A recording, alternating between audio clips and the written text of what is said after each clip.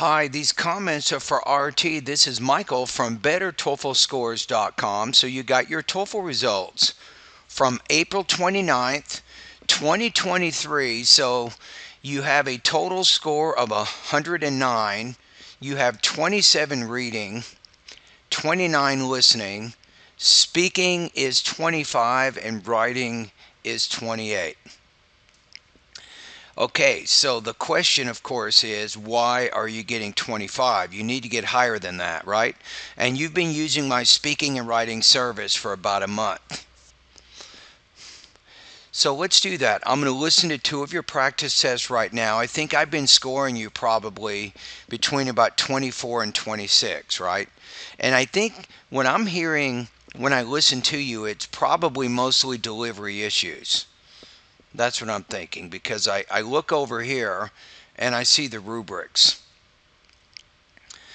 where it says maybe under delivery, you're probably in the four in the language use and topic development, and maybe in the three here, where it says speech is generally clear with some fluidity of expression, though minor difficulties with pronunciation, intonation, or pacing are noticeable. So sometimes when you're doing your practice test, you have some pauses and some hesitations in there. You have a fairly heavy accent, and that could be enough. That could be enough to get you the score you're getting right now. Let's listen to the first of two speaking practice tests. So I'm I'm going to kind of use the screen here so we have the integrated speaking rubric here.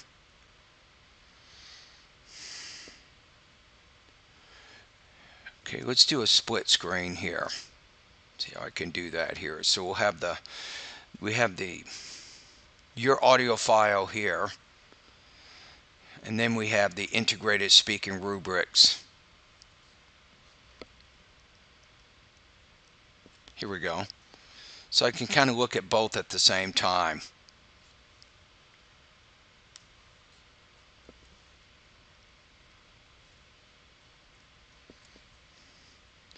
Be able to see the four and the three here. Okay, got it.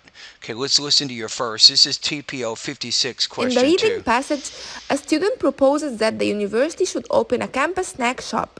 And I'd probably say that the university open. So the student proposes that the university open. This is called the subjunctive mood in English grammar. So when you're using certain kinds of verbs of urging in the noun clause, you can use the base form of the verb there. So to learn more about that, you can go to Google, type in the keywords, what is the subjunctive mood in English grammar? Or using the subjunctive mood in noun clauses after verbs of urging.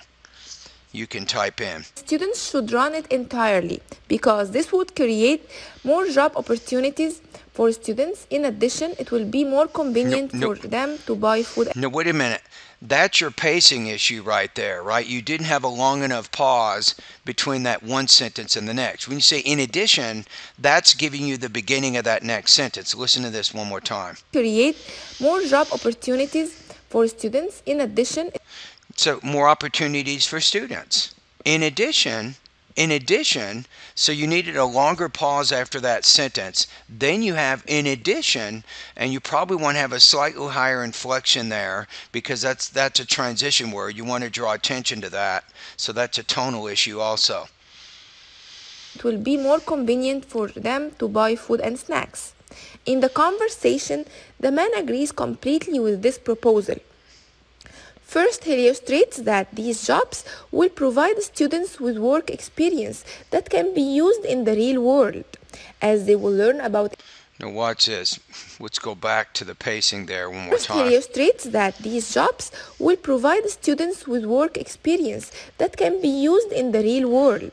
That can be used in the real world. That can be used in the real world. So I think you could do a little bit better with your linking and and read that part of the sentence a little bit faster. as they will learn about inventory, logistics, and schedule.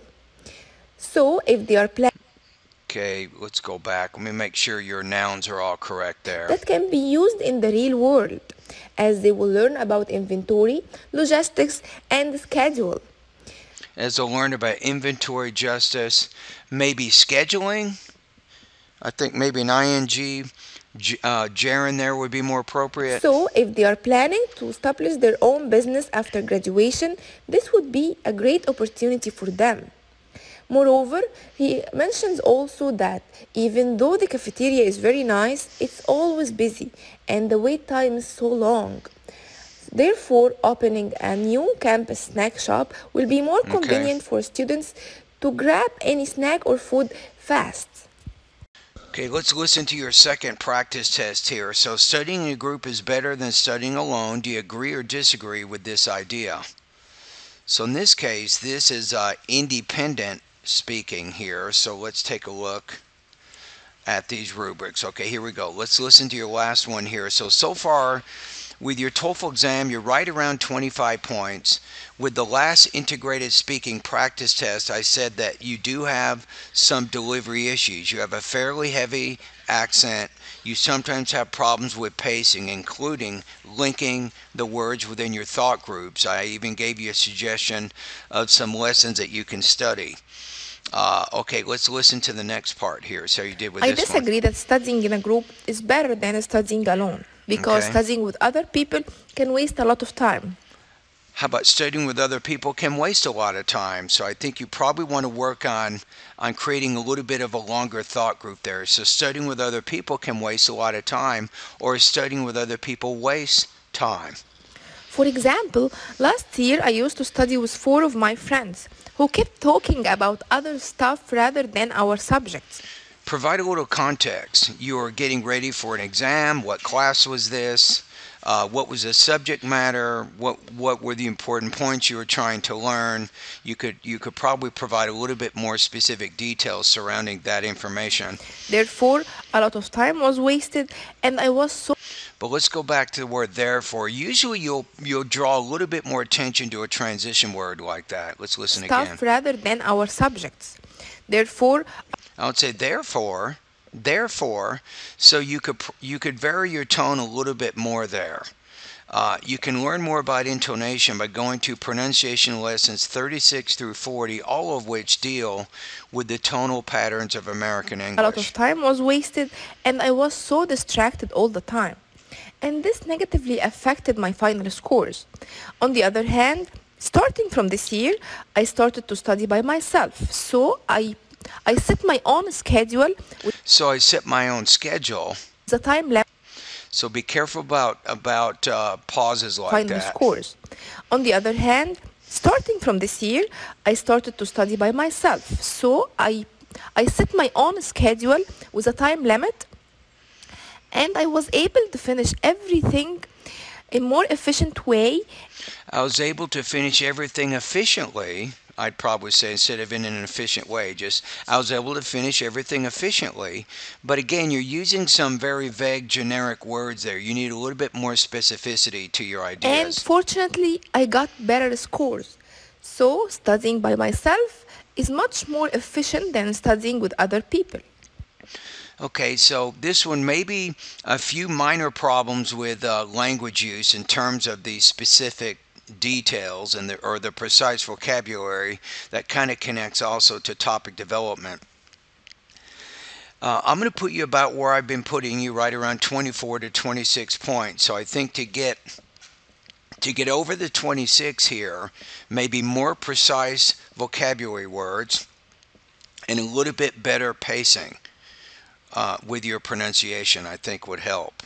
And also, the pacing also involves intonation and linking. So it's kind of like improving tone. I think improving uh, what I call thought groups and blending, all those areas I have in the pronunciation section of my online TOEFL course. All right, so there you go. So at this point, you are at 25 points. You're not quite high enough to get that magic number of 26. So you now know there are some specific things that are going on with your pronunciation, I think, that you want to work on and try to improve on. And remember that when you're improving delivery, that you see here mentioned in the rubrics, there's a lot of things that you can do in addition to just completing speaking practice tests. And one of them is just keep keep with the exposure. A lot of input in your brain, right? I think reading and listening, I think, are all good things. Obviously, your reading and listening scores are really high here, but uh, when you're reading a, a newspaper, you might take a minute and read, say, an article jot down some key notes, and then practice re explaining the most important points in that reading passage. That helps you not only practice your reading, but more importantly, you're practicing your language use, which I think you can you can improve on also. Similarly, when you listen to a listening passage, do the same thing. Listen to the most important points of the lecture jot down some of those key ideas, then practice speaking about those things.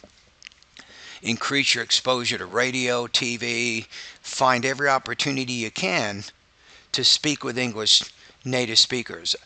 All these uh, things can help increase your exposure to the language, which also can help you to increase your output, which is your speaking, including your delivery, your language use, and your topic development.